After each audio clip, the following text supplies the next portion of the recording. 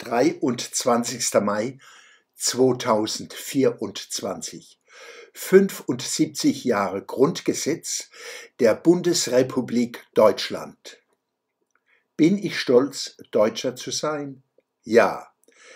Dieses Volk hat nach Nazi-Barbarei und Krieg und der späteren Überwindung des ebenfalls verbrecherischen Stalinismus Wunderbares vollbracht. Als Kind und Künder der Aufklärung, zu der auch wir Deutsche wesentliche Beiträge liefern, darf ich mich darüber freuen und stolz darauf sein. Als einer, der wie viele andere dazu beitrug und beiträgt, eine andere Kultur zu schaffen als jene, die nach Auschwitz führte und in den Archipel Gulag, darf ich das. Als einer, der sein Land liebt, ohne andere Länder gering zu achten, darf ich das.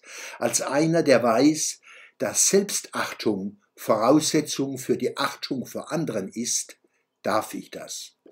Selbsthass und Hass auf andere sind Zwillinge. Der nicht erst seit dem 7. Oktober 2023 besonders im Westen hochkochende Judenhass, Deutschenhass, Hass auf Aufklärung und Abendland sind böse Belege für das, was ich meine. Sie sind überwiegend linksextrem und islamistisch motiviert. Nach 1945 gelingen einem schuldbeladenen Volk in einem zerstörten Land in wenigen Jahrzehnten Leistungen von Weltgeltung.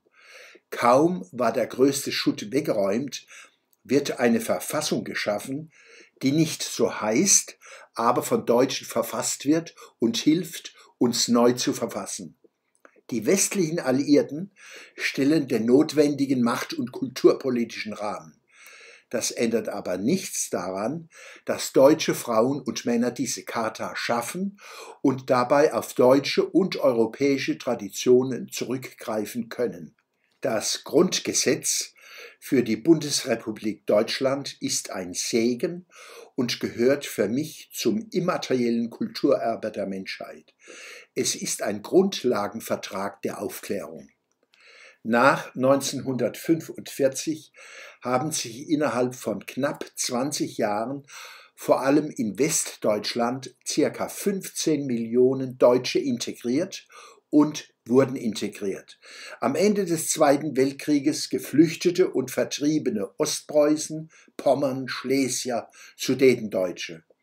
Auf die Wiedererlangung verlorener Gebiete wird um des Friedens in Europa und der Welt willen verzichtet.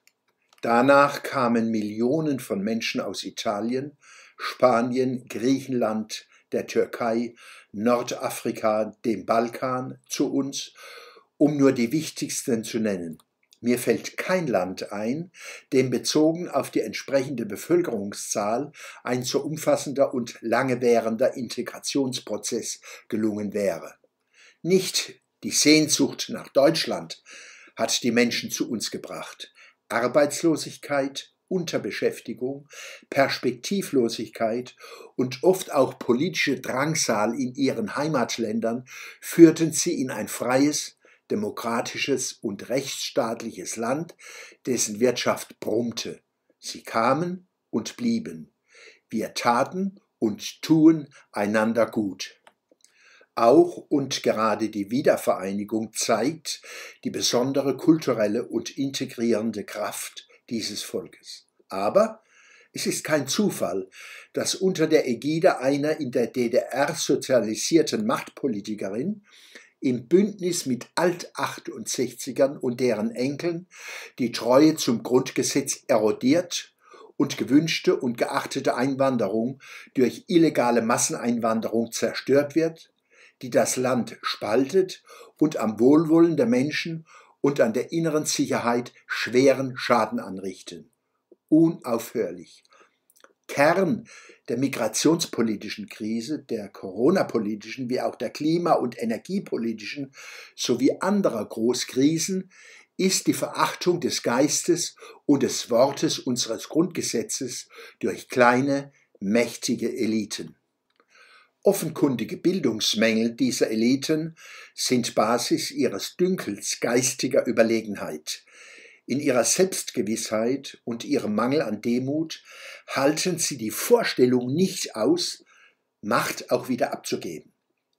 Im regelkonformen, gewaltfreien Austausch der Regierenden durch andere, die ihnen im freien Wettbewerb entgegentreten, sieht der Freiheitsphilosoph und Kantianer Karl Popper den großen Vorzug demokratischer Systeme.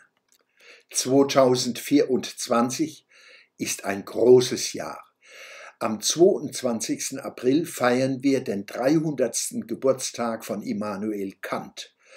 Am 23. Mai den 75. Geburtstag unseres Grundgesetzes. Die Aufklärung bleibt gültig und wirkt weiter.